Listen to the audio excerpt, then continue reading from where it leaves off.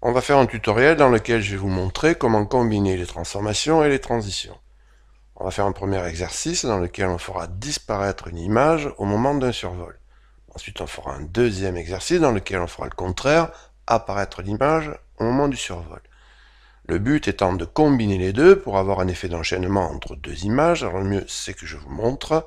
Donc ici, l'image HTML au moment du survol va disparaître et la CSS va apparaître. Ensuite, on changera les transformations géométriques pour obtenir d'autres effets. Donc là, il y a un effet de rotation, vous voyez, sur la disparition de l'image HTML et un changement d'échelle hein, sur un seul axe pour l'autre. Donc on va voir comment faire ça. Donc on va commencer par le premier exo, là, faire disparaître une image au survol. Donc là, je vais vous montrer aussi. Donc voilà, au survol, l'image HTML elle disparaît. Alors pour ça, on utilise évidemment une transition et on positionne dessus, donc comme état de départ, on prend une échelle qui vaut 1 au début et une origine qui est center-center. Et on va aller vers un état d'arrivée où l'échelle vaudra 0 et l'origine aura été changée. Ça permet d'obtenir cet effet de glissement. Et elle aura été changée, elle sera bottom left. Alors vous allez voir qu'en fait, c'est très facile. Je vais prendre un conteneur, ici, et je vais mettre une image dedans. maintenant, je vais styler un petit peu. Donc, le conteneur, je vais mettre une bordure pour qu'on voit un petit peu mieux ce qui se passe. Et je vais mettre une transition avec un état de départ. Donc, la transition se fait sur toutes les propriétés en une seconde avec le rythme is. Et je positionne donc l'échelle à 1 une transformation avec une échelle 1 et une origine sur center center. Bon ça je le fais sur les valeurs par défaut mais je le marque pour qu'on le voit. Ensuite je vais spécifier maintenant bien sûr mon état d'arrivée sur la transition. Donc je vais passer d'une échelle qui vaut 1 à une échelle qui vaut 0 et d'une origine qui vaut center center à une origine qui vaut bottom left. Et donc ça, ça va faire permettre de faire disparaître l'image. Donc sur l'échelle, évidemment, c'est l'échelle qui fait disparaître, et le fait de changer euh, la position d'origine, ça fait cette sorte de glissement, d'aspiration vers le bas, vers le coin bas et gauche euh, ici. Alors on va passer à l'autre exercice là, qui est complémentaire, dans lequel on va faire apparaître l'image survol, étant entendu qu'on veut combiner les deux in fine.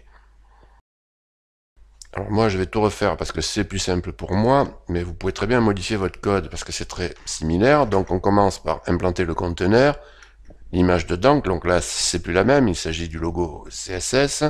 Bon, on continue là.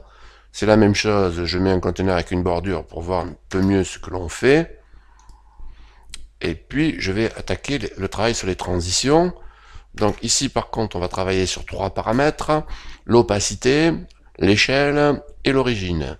Donc l'état de départ, ici opacité 0, échelle 0, origine center center. Et maintenant état d'arrivée, opacité 1, échelle 1 et origine top right. Voilà ce que ça donne donc. Donc là l'image apparaît avec cet effet de glissement là qui est dû au changement d'origine. Alors maintenant on va combiner ces deux exercices pour avoir un effet d'enchaînement entre les deux images. Alors on y va.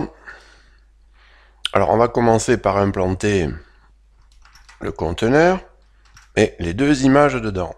Alors ici on met une classe sur chaque image pour pouvoir les cibler. On aurait pu mettre un ID, c'est la même chose. Donc ici elles sont placées l'une à côté de l'autre, en dessous parce que c'est trop large. C'est pareil. Bon, je mets le conteneur comme euh, d'habitude, mais cette fois, je mets une position relative dedans. Je mets une position relative pour que ce soit un ancêtre positionné. Donc, je vais continuer. Je vais cibler ici mes deux images. Je les mets en absolu dans le conteneur.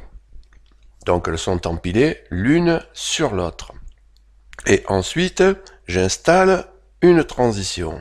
Alors une transition sur chaque image, puisque je cible, j'en cible deux là.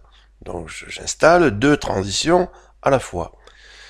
Et j'utilise le mot-clé all pour demander la transition sur toutes les propriétés. vous allez voir, ce ne sont pas les mêmes de propriétés. Donc là, on a tout l'intérêt du mot-clé all. Et ensuite, je demande la transition classique, une seconde, avec le is.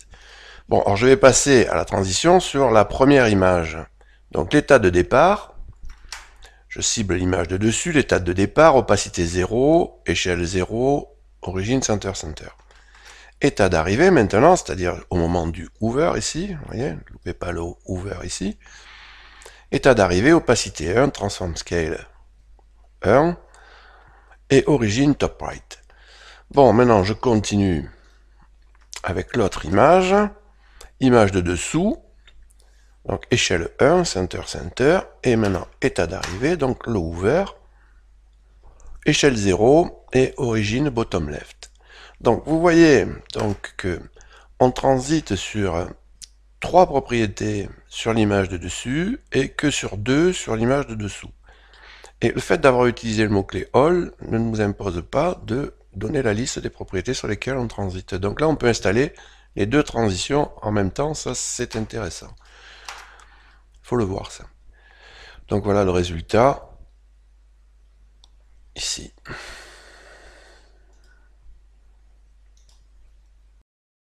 Alors maintenant, on va prendre d'autres transformations pour avoir un autre exemple. Donc, la construction en elle-même de, de, l'exercice est, la même. Donc, il y a le conteneur, les deux images, une dessus, une dessous. Elles sont positionnées de la même manière et c'est au niveau des transitions donc que on va changer les choses. Donc on va transiter ici, on va partir d'une échelle qui vaut 1 en x et 0 en y. Là donc on a un scale séparé sur le x et sur le y. Et on part sur une opacité de 0 pour arriver sur une opacité de 1 et sur une échelle, vous voyez ici, qui vaut 1 en x mais aussi 1 en y. Donc c'est sur l'axe des y qu'on passe de 0 à 1 au niveau de l'échelle, c'est ce qui donne l'impression à l'image de s'ouvrir en fait, dans le sens vertical. Et enfin, sur l'image de dessous, là on se contente de l'état d'arrivée, l'état de départ est initial en fait, donc l'état d'arrivée on fait une rotation de 360 degrés pour, euh, et aussi une diminution d'échelle euh, qui va vers le 0 dans les deux axes là, donc on combine les deux, là, ça se fait en même temps, on spécifie l'une derrière l'autre, et elles se font en même temps, et ça va donner dans ce cas-là, cet effet-là. voyez, donc regardez sur l'image CSS, là, vous voyez, il y a cette ouverture dans le sens horizontal, ça c'est, dans le sens vertical, pardon, ça c'est l'échelle qui passe de 0 ici à 1, là, c'est ça qui permet de faire cet effet. Puis après, il y a la rotation, bien sûr, là, on le trouve ici.